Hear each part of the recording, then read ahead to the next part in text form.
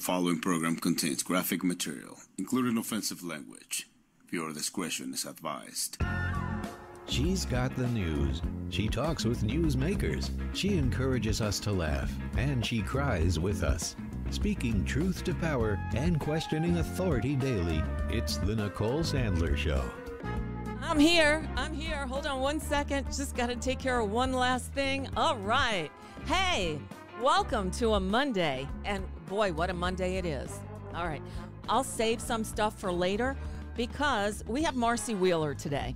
And um, you may know Marcy lives in Ireland. So when she comes on, I give her the choice. And she wanted to tape earlier today because it's later there. So we did. And well, the, we went for basically the whole hour. So with uh, uh, with without any further ado, let's go to the videotape. On the line again is the wonderful Marcy Wheeler. She writes at emptywheel.net about everything that's going on, um, cutting through much of the bullshit that's out there. Um, and I don't know how you keep it all straight, but I'm so glad you do. Marcy, welcome back. Um, I don't even know where to begin. I guess we start with, um, you know, you, you spent a lot of time this week on debunking some of the stories in the corporate media. Um, how much of what you do is pushing back on things from, say, oh, oh, uh, uh, um, what's her name? Um, Maggie what's Haberman. Maggie Haberman at the New York Times. She seems to be the biggest culprit these days. Well, she's not the biggest culprit these days. She has a book uh, tour, and the book tour is dividing everyone into thin-skinned journalists who defend her and people who have a variety of complaints. And mine actually is not the same as most people's. Most people believe she held a lot of stories for the book that should have come out in the New York Times. I have questions about why the New York Times is letting her or why she's in a position to not let them get uh, get the big traffic from her from her excerpts. Like you know, it uh, same thing with Peter Baker. Like mm-hmm. why if if you're paying them to be a journalist, why uh, why aren't you reporting their stuff when it comes out in the book form? So that's one of the questions I have. I um, I, I did write a long piece about. Uh, so that was my that was my Maggie's book uh, complaint, and then she wrote a piece on Friday. And the premise of the piece on Friday is that Trump, in basically a year ago, was proposing to his aides, but never proposed it to the government, even in Maggie's story, proposing mm-hmm. to his aides that he was going to do a quid pro quo. He was going to give back the, the classified documents he has and get the classified documents regarding the, the Russian investigations that he wanted. Uh, Maggie, of course, didn't say that that's tantamount to um, burning sources and methods of Russian assets because that's what he intended to do with it. He intended to release it um, the, the story on its own is not entirely credible. And the reason it's not entirely credible is because it doesn't incorporate details we know of Trump's effort in the last days of his, like literally the last hours of his administration to package up all this Russian stuff and, and, and make sure it was released. Um, but it, but it's also irrelevant to the point. And that, and that's, that is um, not I, you know, that's not my complaint about Maggie's book. I, you know, Maggie can write her book. I don't really care. But Maggie often drives a lot of eyeballs to things that really are beside the point and distracts them from things that are the point. Right. And, I, and this, I, I, this is a non story, right? Because it's about something that didn't happen. It was very speculative and and it's got everybody going in on that when there are other things that are really going on. Right right. I mean even in the same story she describes this guy who's probably a witness for the government. Uh, he was one of the lawyers who ended up um, negotiating with the archives. And she describes him a um, suspecting there were classified documents but not telling the archives that there were classified documents and B, she describes him believing that he was withholding documents because he was trying to keep them out of the hands of the archives and therefore out of the hands of the January 6th committee. Now, the latter allegation is one that um, Paul Sperry has made publicly. He's like, this is why Trump didn't give stuff over. So there is corroboration for it. If it were true, it would be further obstruction and would be far more interesting. And and um, there was a uh, an inventory of the potentially privileged documents that was supposed to be sealed, and I think Judge Cannon Cannon's staffers in her court accidentally unsealed it. And we can see in that filing that there are three documents at least pertaining to Trump's efforts to steal Georgia.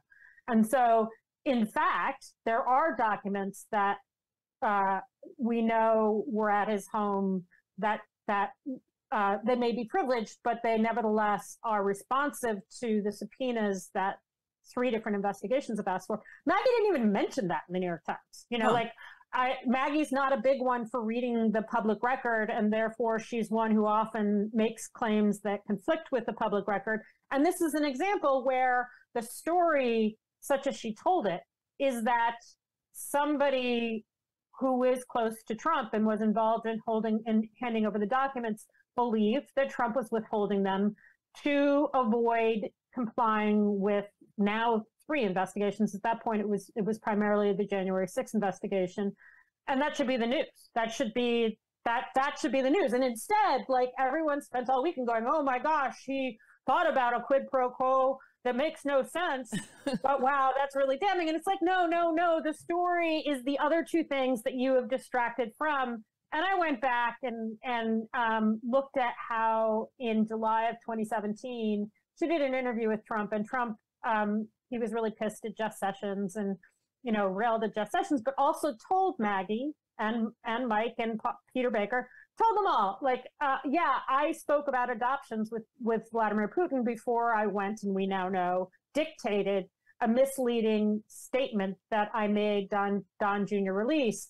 And back in 2017, I mean, this was an example of the same thing. Maggie mentioned that, like in paragraph 29, but she kept doing what Trump wanted her to do, which was say Jeff, Jeff Sessions, Jeff Sessions, Jeff Sessions, Jeff Sessions. Right. So she was, and and this in the Mueller report, uh, he makes it clear this is the same day that Mueller kind of re-upped his request to Corey Lewandowski to go pressure Jeff Sessions. She was more useful to Trump on that very same day than Corey Lewandowski, and that should, you know, that should give people pause because again, what she gave us over the weekend was more distraction. Right. And this uh, is how this is how she kept access, I guess, through the years. You know, she she'd give a little bit and then take a lot and then give give more and then take a you know, she wants to have it both ways, it seems. And Trump is willing well, to give it to her. And the other thing is like, I mean, uh, she claims that her reporting on the Russian investigation held out. And and I'm like, no, because you told you trained everyone, everyone in America to believe that Trump was only investigated for obstruction. In fact, he was in, he was part of the Roger Stone investigation. Roger Stone was still under investigation for uh-huh. conspiring with Russia to hack we don't know what uh, when Mueller closed up shop. She never mentioned any of that. I'm, I'm actually the only one who did. Um, she never mentioned the suspected bribe that went through an Egyptian bank, $10 million in September 2016 uh, Bill Barr shut that investigation down or sometime in July, August 2020. Uh, she, there was a story where she like affirmatively misled people about Deripaska's role in in Paul Manafort's uh, briefing of campaign strategy. So you know, it's like her her her record on the Russian investigation actually served to distract people, served to lead people to believe that Trump was only investigated for obstruction. And there are parts of it that she simply didn't cover. And so, um, did she, you know, was she not told that? Or did she instead want to focus on obstruction, obstruction, obstruction, obstruction? Mm-hmm. And she's doing, in my opinion, similar things with this document theft. Um, you know, she, she finally, I think, is naming both obstruction and no one's naming the Espionage Act. Like if it were Reality Winner, everyone would be like, right. you know, she, she she's charged under the Espionage Act. No one is naming that he's being investigated for the Espionage Act, and I don't actually complain about that because it, it's misleading. It's not like he's being investigated for spying, as far as we know. But uh, but you know, even in this article on Saturday, she was like, "Oh, Donald Trump is in the middle of this investigation." I'm like, "No, no, no, he's not in the middle of an investigation. He is suspected with lots of public evidence that has nothing to do with this quid pro quo that didn't happen.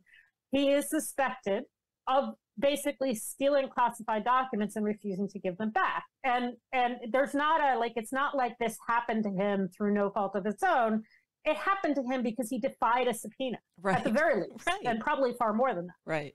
Right. So what so what is marcy what is the latest on the documents? I mean I, we saw that judge cannon again stepped up and tried to swat down the special uh, master that she appointed dearie um, and now the, the department of justice filed for an expedited appeal uh, and it looks like the the 11th Circuit has given them that. Where, where are we now with all of this?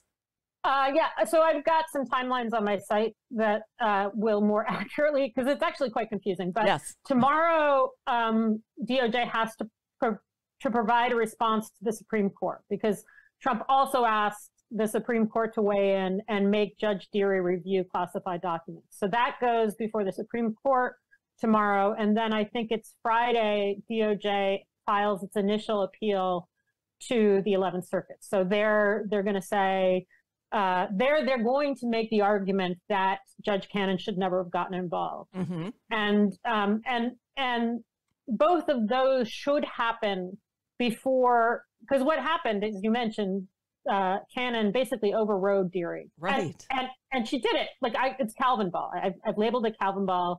Um, she was intervening at a time when everyone, including Trump, believed that Dearie was still in charge. And she had decided Dearie had provided his uh, plan and she was going to override it. And that, uh, um, and and as part of that, she bumped out the deadline uh, just over two weeks. And so she basically stalled for no reason. Right, and right. and um, uh, that's why, as you said, DOJ then turned around and said, "Can we expedite this appeal before the circuit?" Um, and it, you know, it's possible that that there may be a resolution of that um, in early December before Judge Dearie actually, you know, does his own report on on the dispute. So it's you know I I say this over and over again, and I think it's important for people to keep this in mind. Is we don't know how this is going to turn out. No. You know, we don't know It'll be a new panel in the 11th Circuit, so there's a likelihood there will be at least one, if not two, Trump appointees as the last panel. But the last panel, uh, you know, the last panel just laid into Judge Cannon, so right. We don't, and how, they were Trump I mean, appointees in the last. Two of the three were, I two think, of the three were Trump appointees. So we don't know um, what the 11th Circuit will do. I mean, probably they're not going to deviate that far from what the 11th Circuit already already did because it would be awkward. And these are these are kind of basic issues about executive power. Like these are things that Republicans have never questioned. Um, Judge Justice Thomas, who happens to be the one who decides 11th Circuit ones, right. you know, again, uh, it's likely he'll give this more uh, review than certainly Justice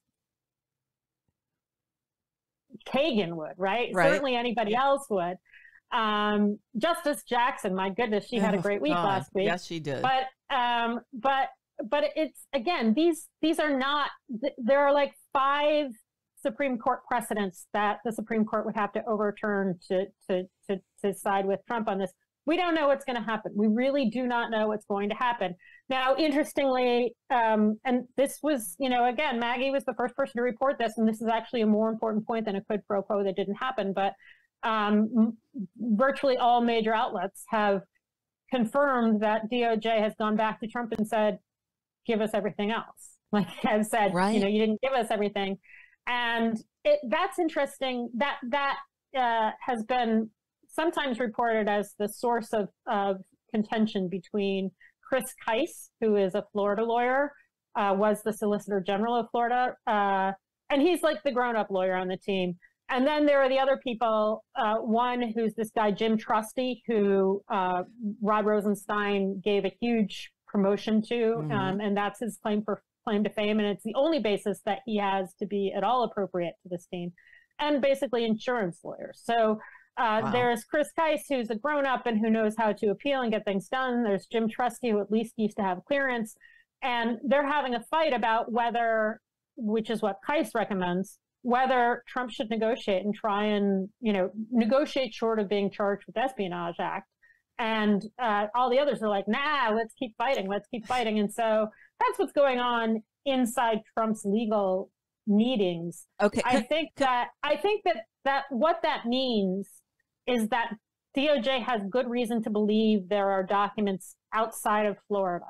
And virtually every place they would be outside of Florida would be more friendly places for DOJ to to charge Trump. So Right. Oh, Virginia. New York, uh, Southern District of New York, or um, or New Jersey, and Right. all of those would And- be And what we learned from Jason Leopold, coincidentally, and his FOIA brilliance is that there was a, a giant pallet of these boxes that were first shipped to a place in in Virginia before they went down to Florida. So they very easily could be in other places. Yeah, and I don't know whether we know those are the same documents. Those Right. are the documents that got sent by GSA. If they are the same documents, it means that Trump as a whole said these are government documents. hmm So if if the documents were shipped by GSA to Florida, then Trump has already said they're government documents, which should mean he has to give them back.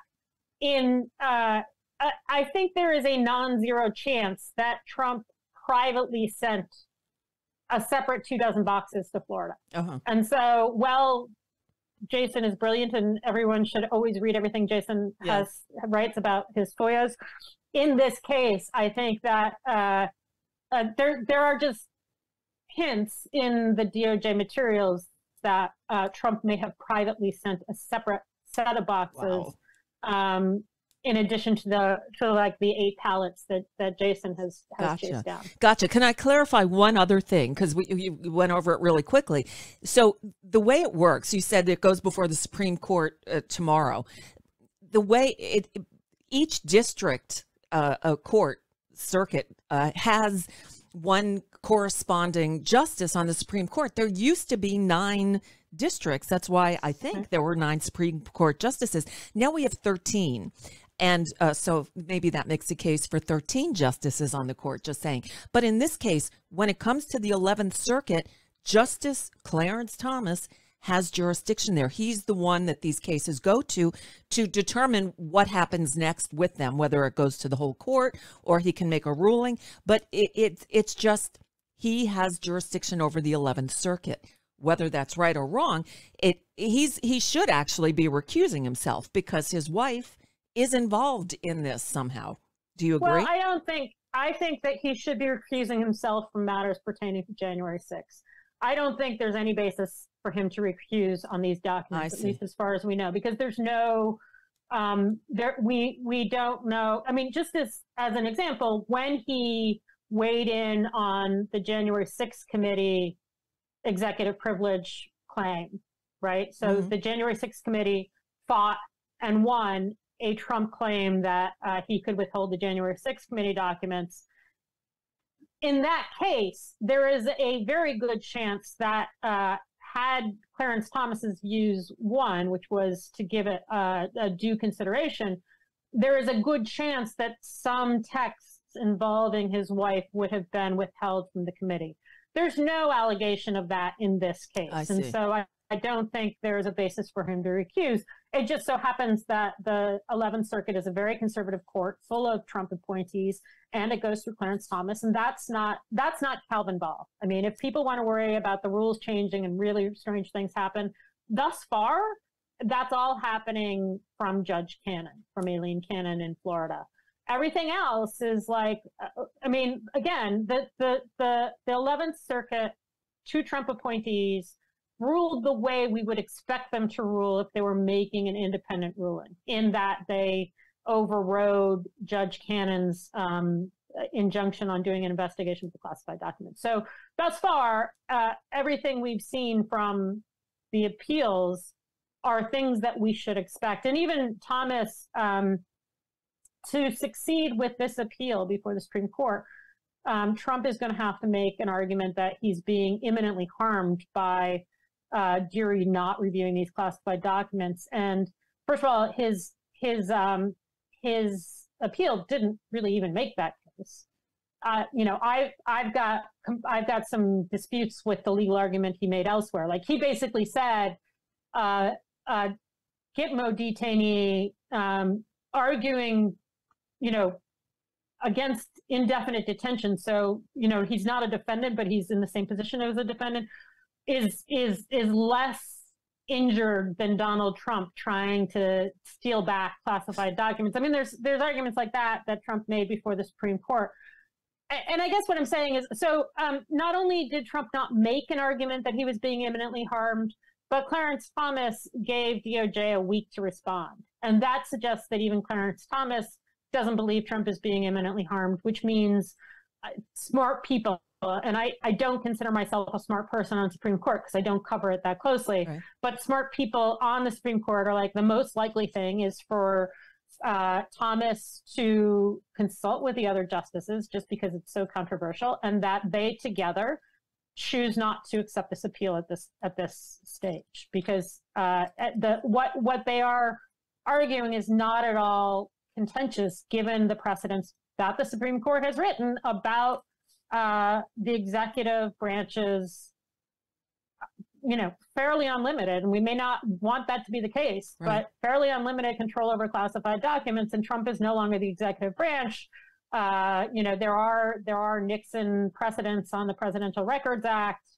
Uh, none of that works in favor of Trump. So yes, it's possible that the Supreme Court is going to do something pretty radical.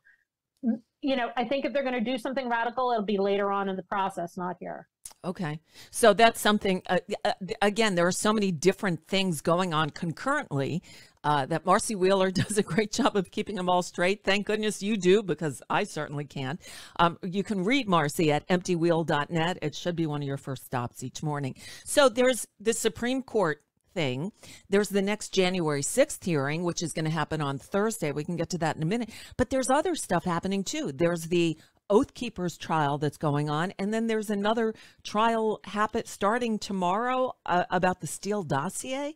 What should we be paying attention to, if any or all? Uh, so the the Oath Keepers trial is going to take another, and and the other thing is that the first Proud Boy pled guilty to right. uh, to seditious, seditious, conspiracy. He's a guy who wasn't even at the Capitol on January 6th, um, but he pled guilty to that, and so again an, another witness for when they go to trial in December. Yes. The Oath Keepers trial is going to take another uh, at least three weeks, probably a little bit more, probably possibly more and more.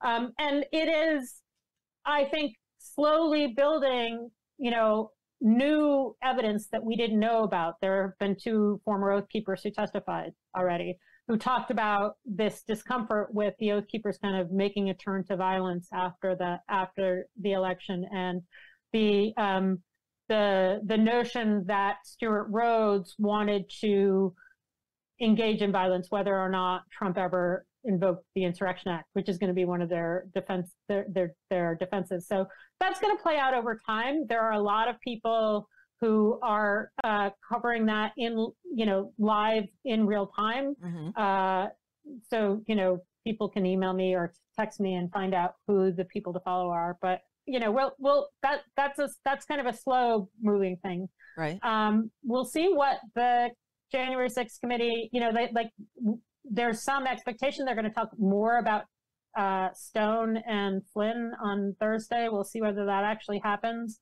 Um, it's an interesting time for them to finish if they really do, because I expect after the election, we're going to see some movement building on, for example, the sedition, you know, the, the Oath Keepers trial, which by then we should have some results, some verdict in. Um, so that's still moving. The um, the Durham, the Steele dossier that you mentioned is a guy named Igor Danchenko who yes. was Steele's primary subsource. He was basically a Brookings analyst who um, would go sometimes in Russia and sometimes over the phone and stuff and talk to his buddies in Russia and, and get information. Um, and, and that's where a lot of the Steele dossier came from. But Durham did with him very similar to what he did with Michael Sussmann, which was like spin this out as a wild conspiracy theory to try and get journalists to claim that Hillary Clinton had been behind the P tape allegation, which is baseless. I mean, he doesn't have the evidence to make the claim. Uh, the judge last week basically ruled that um, Durham hadn't presented evidence to substantiate that claim, so he can't present it at trial. He didn't charge it. Uh, so this is probably going to be a fairly short trial. Um, I, I, contemplated going and covering it right. because, uh, but it's in Virginia, which means there won't be any live coverage because Virginia is a wasteland for live coverage. But um, but I will be covering it. I will get the okay. transcripts and cover it that way.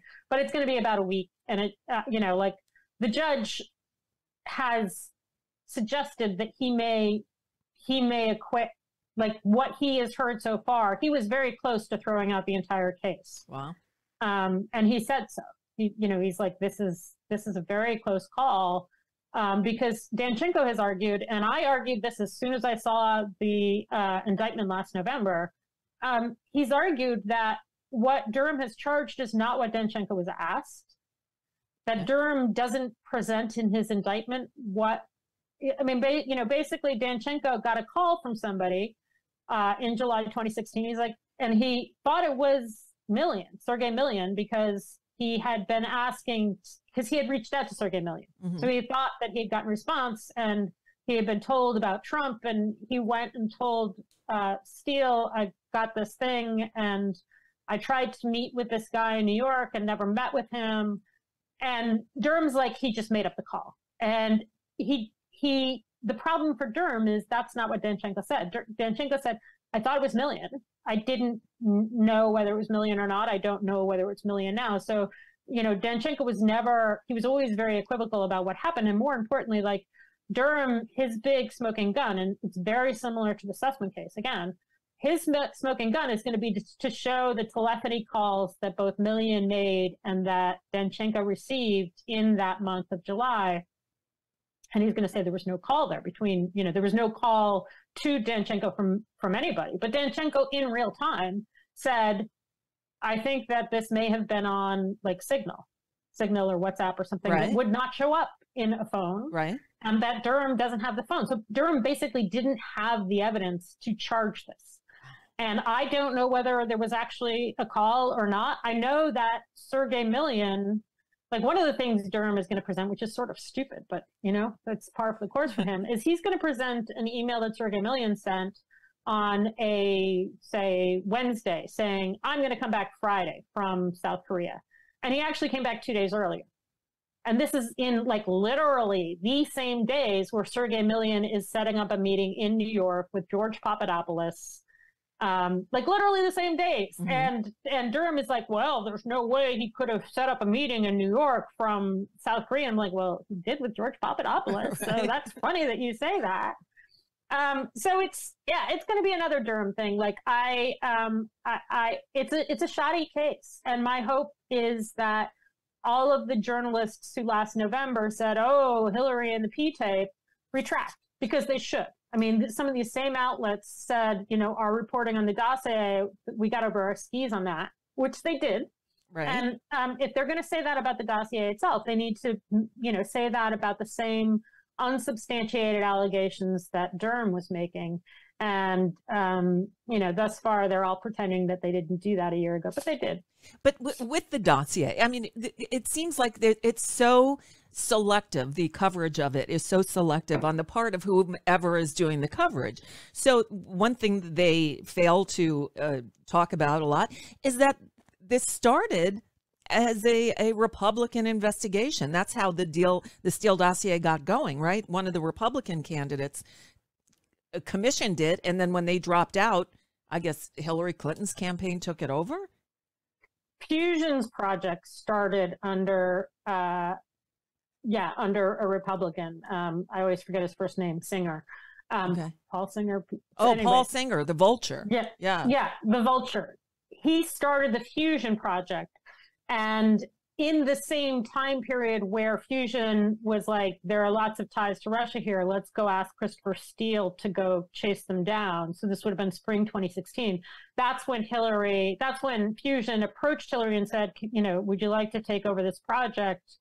Oppo research on Trump, and Hillary did, and Christopher Steele was part of it. Right. And so it's not it, you know, it it's all one project.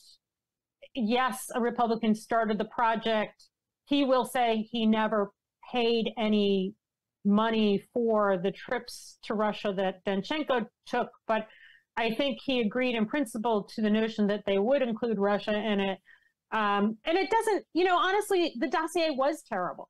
Mm-hmm. Like, you know, very early on, like literally the day after it came out, I'm like, guys, I think this is, uh, you know, this is more attenuated than you sh- than than you guys should be running with. And there's lots of Russian spies in it. And given the number of Russian spies cited in it, maybe you should, you know, think twice about whether the Russian spies in it uh, are feeding you stuff. And and I think that I think that the best evidence right now shows that Oleg Deripaska, who was centrally involved in the hack, in he was centrally involved in setting up parts of the hack and leak campaign, part of the influence campaign in 2016. Okay. He had he this is just as important as the singer thing. He had asked Christopher Steele in March of 2016 to collect evidence on Paul Manafort.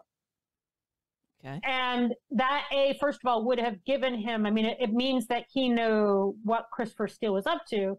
But as Christopher Steele and Igor Danchenko tried to find dirt on Paul Manafort, that Oleg Deripaska, somebody involved in this operation after this operation started, um, that would have given Russian spies a really easy way to check Danchenko's collection network.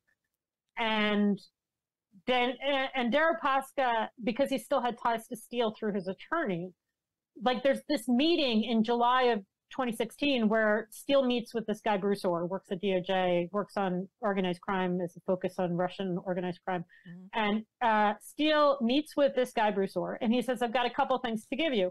One is here's the first, here's the P tape, basically. He didn't say the P tape, but he's like, you know, Russia, here, here is some dirt that Russia is, is collecting.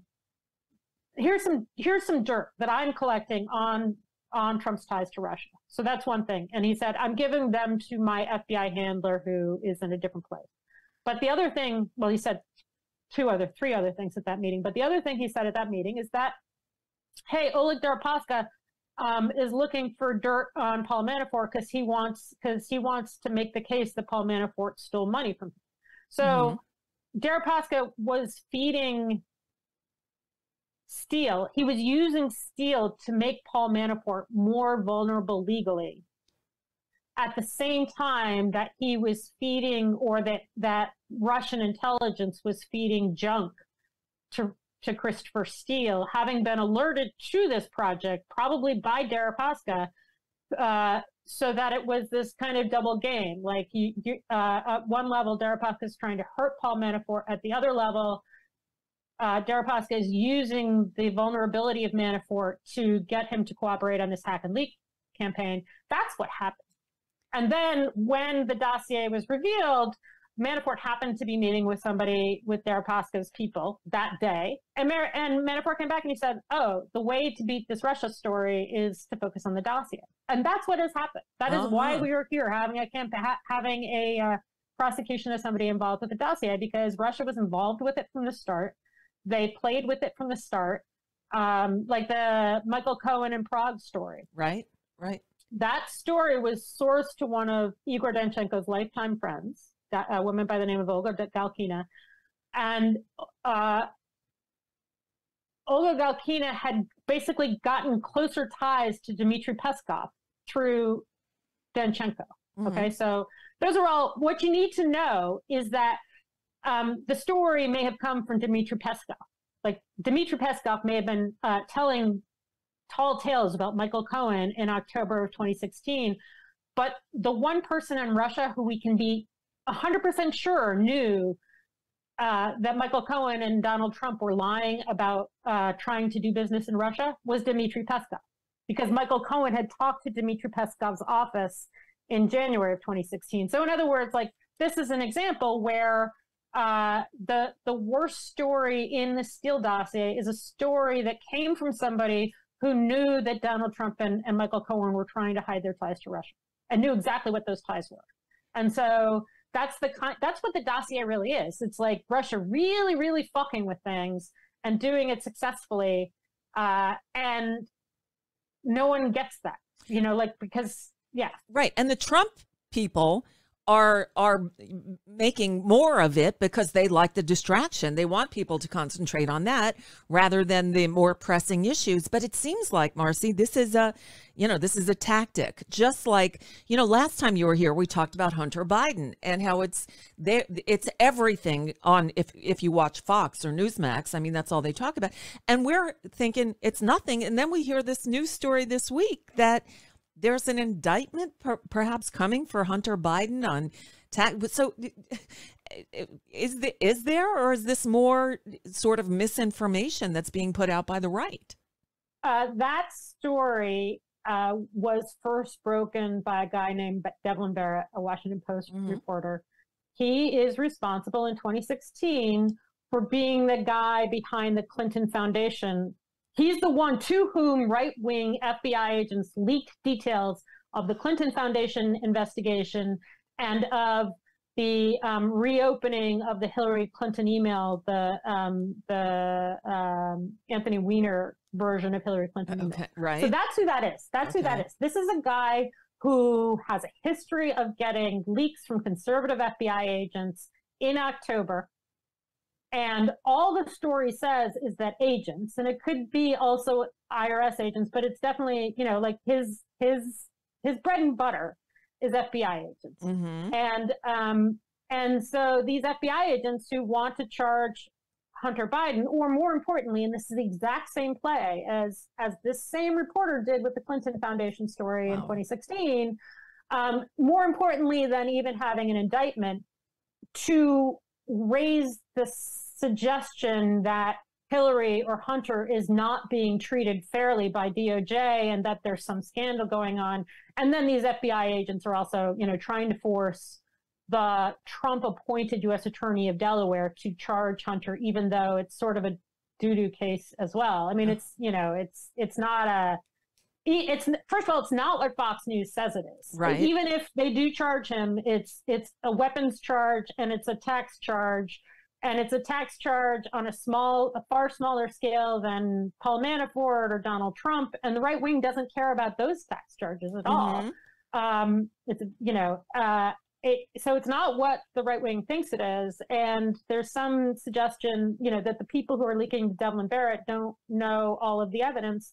So they're trying, you know, this this happens. Like FBI agents have a history of trying to force the hand of the prosecutor because the prosecutor is the one who has to make the decision. Prosecutor is the one who has to go and stand before a jury and try and make the case. And um, and so so there's a lot that's going on, but the most important thing to know that's going on is this reporter uh, has a habit. Has I mean, it's his beat. Like there there was another one. My my favorite story of his was actually from 2020 because um, a right wing FBI agent, somebody who, who sent uh, pro Trump texts on his FBI phone. So he's the equivalent, he's the kind of mirror image of Peter Strzok. Right. Um, he did an interview with basically this fake investigation and said things that conflicted with his own actions and showed himself to be a bully to Jeannie Rhee. Like he, it was just like, you know, male dickish behavior in the workplace and uh, and claimed to not know about evidence that I know about. And this was this was um, Bill Barr's October surprise in 2020. And guess who that story went to?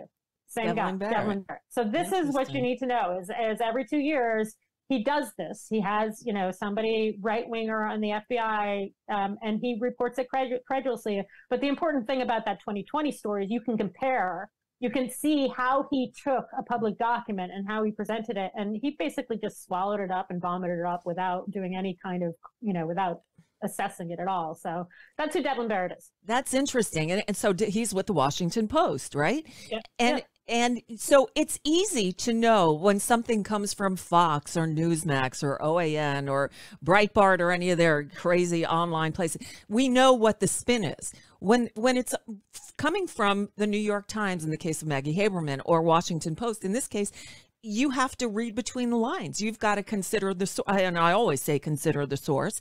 But if you don't know the leanings of each particular reporter, it's sometimes hard to keep track of that. I think I give the benefit of the doubt to a Washington Post or New York Times, but maybe I shouldn't. Yeah, I mean,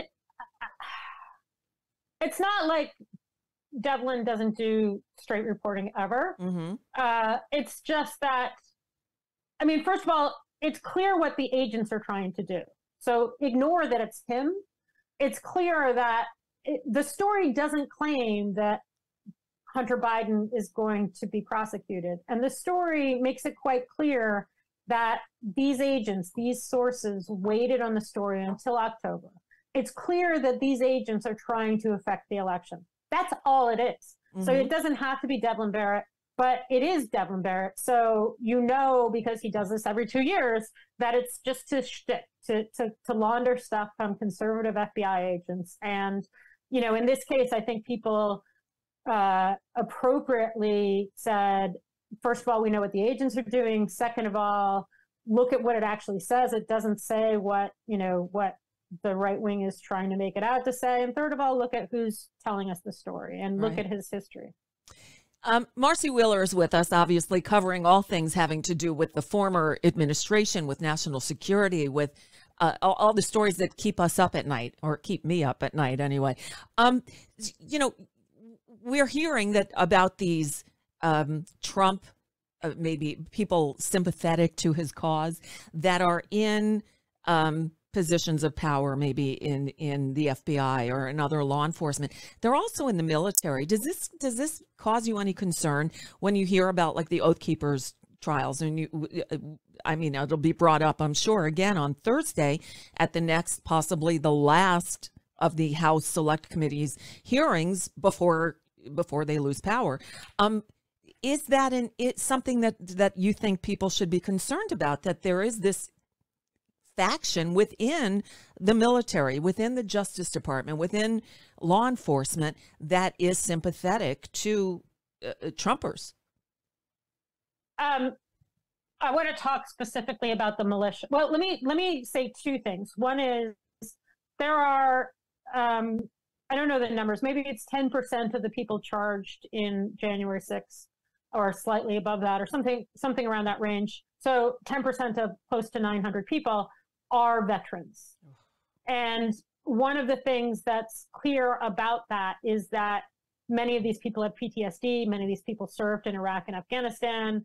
Um, to this day, one of the more chilling statements of offense I've read is this guy, Matthew Green, who is Marine, did uh, service, maybe not Marine, but anyway, did service in Afghanistan. And he describes this point on January 6th where he realized it was turning into an insurgency, the likes of which he fought in Afghanistan, and he continued. And he went home from January 6th and basically kitted out with an arsenal. And so that's what I'm particularly concerned with is what veterans of wars in Iraq and Afghanistan, and many of them with real trauma injuries, whether it's physical or, or mental, um, that uh, are susceptible to the kind of thing that Trump pulls. So that's separate from people who are in the military today. Mm-hmm. That's one thing. Another thing that uh, concerns me a lot is um, there are a couple of police of areas of police departments where we know there's quite a lot of sympathy.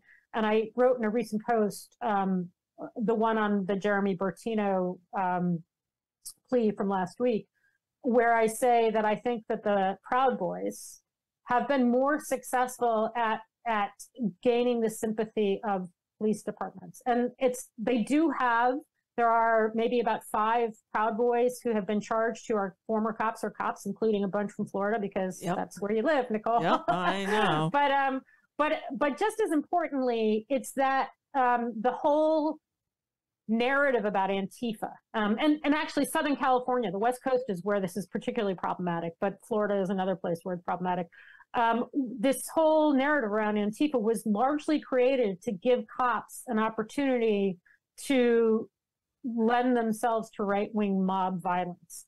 And that carried over all the way to Bill Barr. I mean, I, I, talk about this all the time, but in 2019, Roger Stone and several Proud Boys, including Enrique Tarrio, um, cooperated on a threat against Amy Berman Jackson, who was presiding over the Stone trial. Right. They did. They put together a picture of of Judge Berman Jackson with um, a crosshairs on it, and um, and that was when that was dealt with in his sentencing and Stone's sentencing. Bill Barr's DOJ, and I kid you not about this, Bill Barr's DOJ said, "Well, we don't think that was a real threat. We think it was more of a technicality." And so, you know, what you had going into January 6th Okay, and and there, there, one of the things that came out at the Oath Keeper trials is that there was a credible tip to to the FBI about this move towards violence. What you mm-hmm. have going into January 6th is from the top of Bill Barr's DOJ on down, this um, treatment of right wing militias as uh, as insignificant, as a threat that's not real. And right. and then you add in Donald Trump, the, the, stand back and stand by comment. And so I think uh, it is.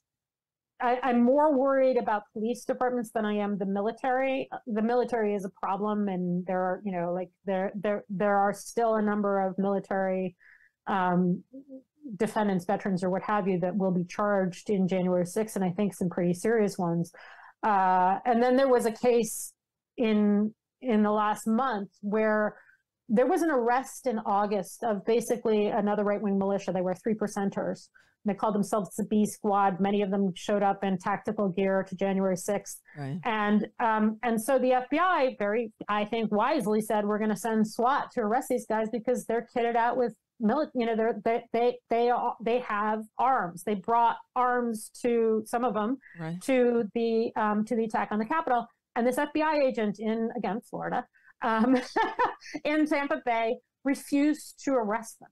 He was oh like, "I we can't use the SWAT against them." And so FBI was like, "You're kidding, right?" And he's like, "No, no, no. I'm making whistleblower complaint." And they're like, uh, "This isn't going to go well for your for your career." So they took away his clearance. They they um, and now Chuck Grassley and Ron Johnson are like, how dare you take away his clearance for this guy who's a whistleblower? It's like, he's not a whistleblower. He's, you know, he's, he is, he is, um, coddling right wing militias right. that were involved in an attack on the Capitol. And so it's that kind of stuff that, um, you know, I, I don't, I don't think, I know there are people who do, I don't think anybody high up in DOJ is, um, is trying to to lose the cases against especially the militias or somehow you know i think that there are decisions that doj has made that i might question but i don't think anyone's trying to lose. But i think that at the policing level so within the fbi but especially within like the la police department uh, there's the, there's a case in san diego where they're doing this. There's a real um, there is this sense among police departments that the Proud Boys are somehow allies against the the you know the crazy left, right. and and that is um, that's something that is very dangerous. It is, and, and down here in Florida again, Miami Dade County, the Proud Boys uh, control the the Republican Party apparatus in Dade County. It's it's um, I, I don't think uh, enough people are understanding the the magnitude of what I I think is a big problem. So uh, just yeah, and and of course in, in Florida, you have Roger Stone, who whatever else he is, he is actually a really smart political strategist. Mm-hmm. So you have somebody who is teaching these Proud Boys how to be effective at local politics and he's you know he's always engaged even at the level of sheriff so it's not surprising that the proud boys are um, are focusing on South Florida because Roger Stone is there. Wow. Wow. So this is a big week. So this is Monday. We're taping this early in the morning on Monday. It will, it'll air Monday afternoon. But we've got two trials beginning tomorrow, I think. We got the other January 6th hearing on Thursday and other stuff going on in the background. You know, for months, Marcy Wheeler, you've been telling us that um, to be patient, that Merrick Garland is doing what he needs to do step by step. By the way, a couple of weeks ago, he delivered a brilliant speech at Ellis Island at a mm-hmm. swearing in ceremony for a number of uh, new citizens. Uh, I actually played the whole thing um, one day because I thought it was important for people to hear him. He's a different kind of guy, certainly than Bill Barr or other attorneys general that we've had. But you still maintain he's doing what he needs to do, and you think you think he'll come up with a a prosecution. Again, there's new new incoming fire against him this week.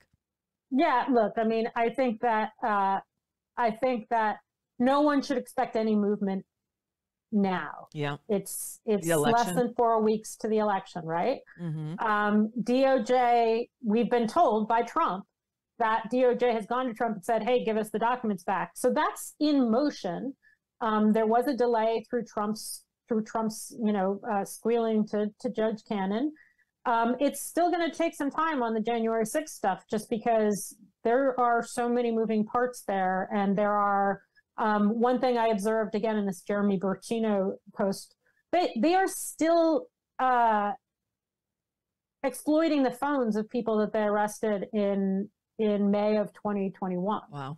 Yeah, you know, that this is that there are things we like it took over a year for them to what's called exploit to for them to unpack uh, Enrique Tarrio's phone. Sure. Even though they got it even before January 6th. And so we can point to delays like that that explain why things aren't happening as quickly as people want. And then and then you need to build in you need to build in the structure. You need to build in and say, well, you know, if if for example between now and the election, uh, the Oath Keepers are convicted of seditious conspiracy, that changes Roger Stone's exposure because right. we know Roger Stone was in touch with, um, you know, that there are friends of Stone texts that have been introduced uh, because because um, Stewart Rhodes was on this list of how are we going to deal with this election. His it was a signal it was a signal list I think wow. or a telegram list, and so we'll you know we saw that we're seeing that in the Oath Keeper case. We're likely to see that in the Proud Boys case in December. Um, but that stuff has to happen before you're going to go you're going to see you know right. stone or flynn or then their trump so so do you know where this latest round of attacks on garland it, he's assigned a really weak team to the document prosecution do, do, is that just more noise being injected yeah. into the stream there is a real observation that uh, until we see U.S. attorney AUSAs. So until we see people, the people who would have to try a case, mm-hmm. then there is a concern that um, DOJ is not yet getting their brain around the fact that they are going to charge the case.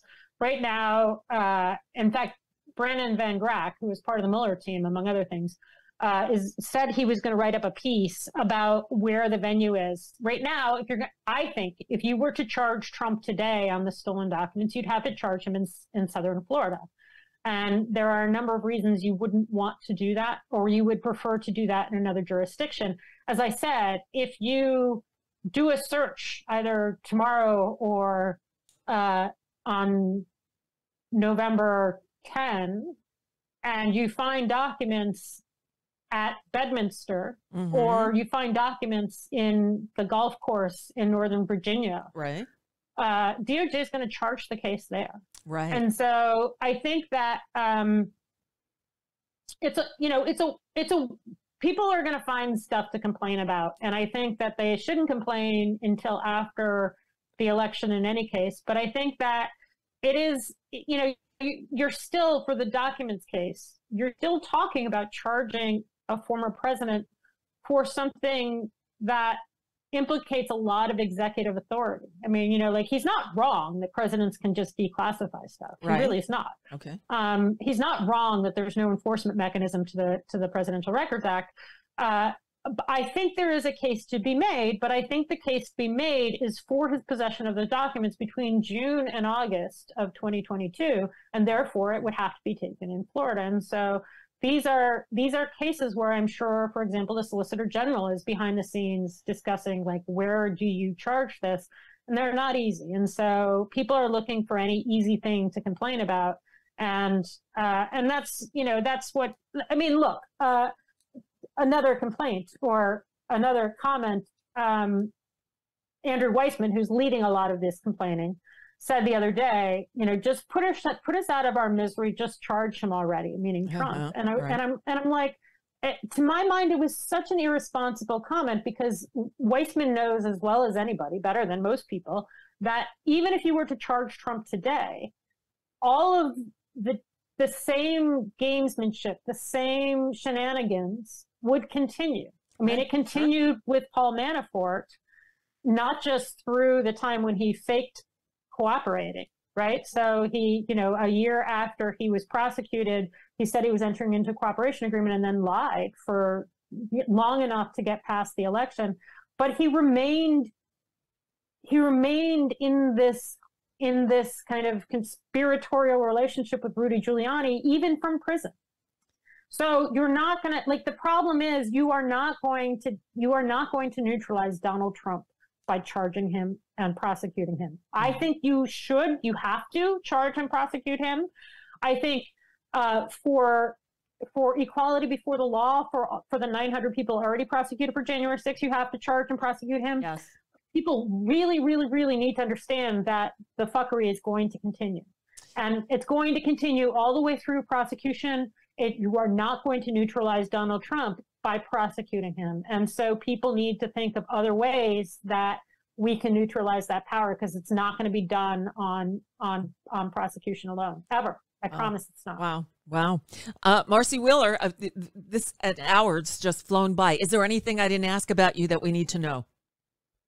No, that's all I can remember. I'm sure I'll think of something later. But... Probably because it's constantly moving. And so the, I, I so appreciate you joining us uh, regularly to keep us uh, abreast of what's happening because it's impossible for, you know, certainly a mind like mine to keep it all straight because I'm all over the place. And you've well, got you're, I mean, you're, you have to talk to a bunch of different people. I just, I sit here reading documents all day. So, wow. and um, thank you for doing it.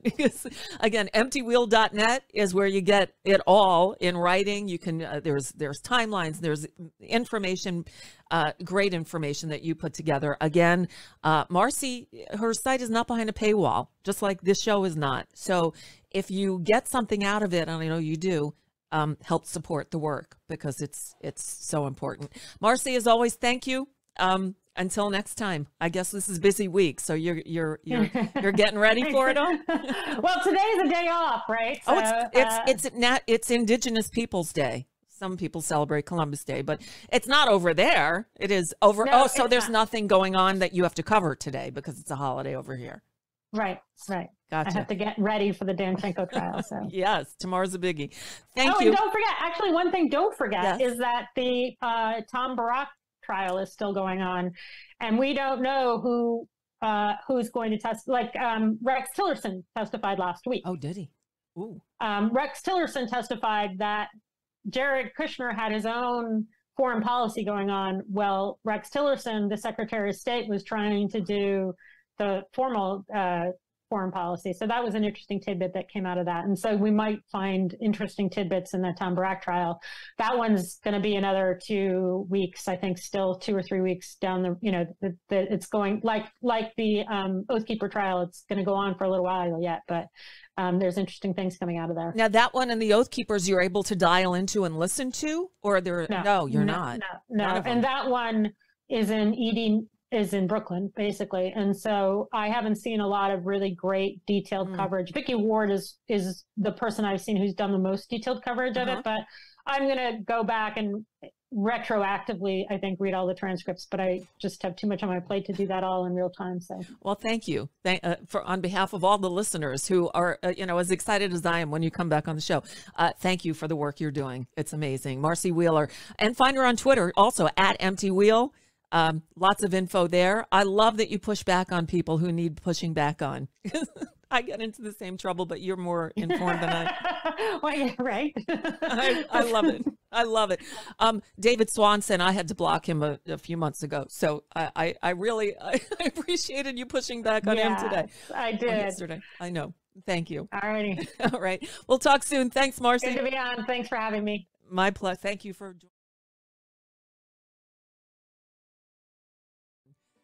Okay, we're back. Marcy Wheeler. She just, she is great. And yeah, what I was talking about is on Twitter. She's at Empty Wheel on Twitter.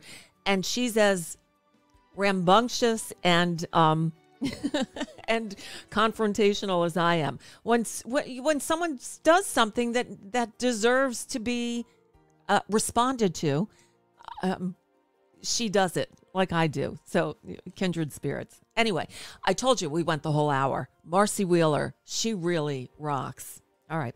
Uh, tomorrow, Gotta Laugh will return. So it's a Tuesday with Laffy. We will have fun, I promise. I'm giving it a beat so I can go into overtime. I think Progressive Voices is gone. Hello, goodbye. Um, yeah, so uh, Marcy Wheeler just is so good. Uh, uh, I just had to had to just throw that in one more time. I've got a bunch of stuff that I didn't get to today, obviously, because we were all Marcy all the time. But we do have Laffy tomorrow, and I will share it with you. Somebody in the chat room asked about Marcy and her comments on Liz Truss. Is that her name? Truss? Truss? Uh, anyway, the new uh, Prime Minister of of uh, England, and I did not um, even go there because we have enough stuff here to deal with. But you know who did a song about her? The new Prime Minister of of the UK, the Marsh family, because that's where they live, and they got political. I will share that with you tomorrow. All right.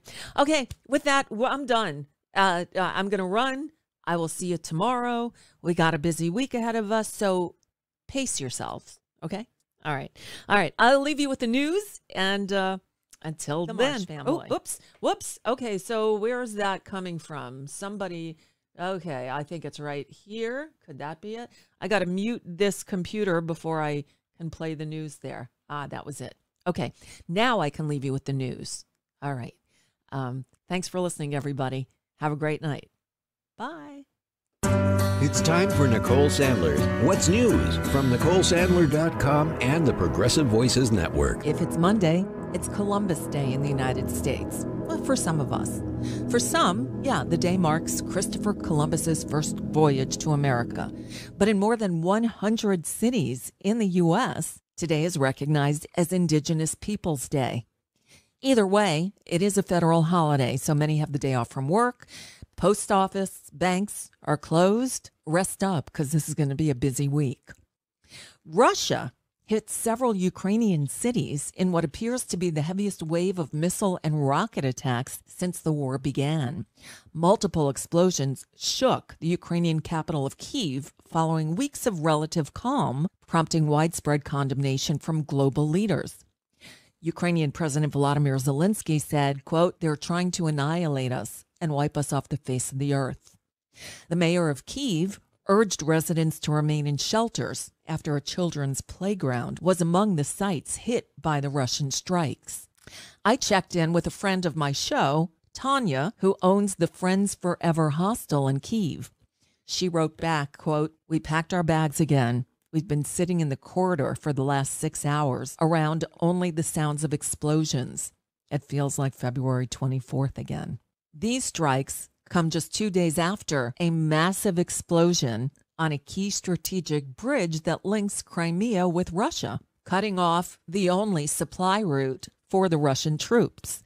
Putin now accusing Ukraine's special services of carrying out what he characterized as a terrorist attack on the bridge and warning a future response saying, quote, its scale will correspond to the level of threats.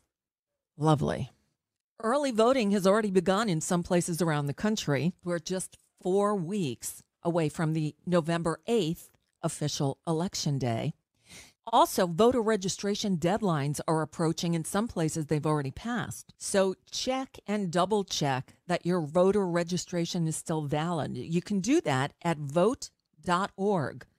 And then vote early if at all possible to avoid any election day problems at the polls. Meanwhile, Republicans seem to be banking on racism as an election strategy. For example, Alabama Republican Senator Tommy Tuberville, appearing at a rally in Nevada over the weekend, said this They're pro crime, they want crime. They want crime because they want to take over what you got. They want to control what you have. They want reparation because they think the people that do the crime are owed that. Bullshit. Is Tuberville actually suggesting that Democrats promote crime? and that only blacks are perpetrators of crime? Actually, according to FBI data, crime has slowed in the last year, and most crimes are committed by whites. Just saying. Oh, and then there's Marjorie Taylor Greene. She made similarly racist remarks during another rally over the weekend. Joe Biden's 5 million illegal aliens are on the verge of replacing you replacing your jobs and replacing your kids in school. And coming from all over the world, they're also replacing your culture. And that's not great for America. She's also recently taken to posting on social media that, quote, Joe Biden is Hitler. One of the posts was a doctored video of the president with a small mustache standing in a lectern with swastikas in the background, dubbed with audio of Adolf Hitler. Just amazing. I could go on and spend the rest of the hour talking about Trump's racist remarks, but the prize today goes to Kanye West, who I guess just wanted the world to know that he's an anti Semite. In a since removed tweet, West said he was, quote, going DEFCON 3 on Jewish people in all capital letters. And he added, quote, you guys have toyed with me and tried to blackball anyone, whoever opposes your agenda. Yeah. Kanye West has since been suspended from both Twitter and Instagram. He seems nice. And finally, a sad sign of the times. Cumulus Media is one of the largest owners of radio stations in the country. They bought up the stations previously owned by ABC and Disney. One of them was a legendary talk station in San Francisco, 810 News Talk KGO. Well, on Friday, they blew up KGO. It was stunting all weekend, and on Monday morning, it relaunched as 810 The Spread. They describe it as sports and sports betting news, information, and insights aimed at the burgeoning and underserved sports betting audience in San Francisco. So, no radio stations in the San Francisco Bay Area covering progressive politics, but now a monster signal devoted to sports betting. In case you were wondering, sports gambling is not yet legal in California, but there are two ballot measures to legalize sports betting that are currently trailing in polling as we approach Election Day. Hmm. And that's just a bit of what's news for now. I'm Nicole Sandler. If you appreciate these reports and the Nicole Sandler Show, I hope you'll consider making a contribution. My work is 100% listener supported, and I can't do it without your help. Find out more at NicoleSandler.com and please click on that donate button.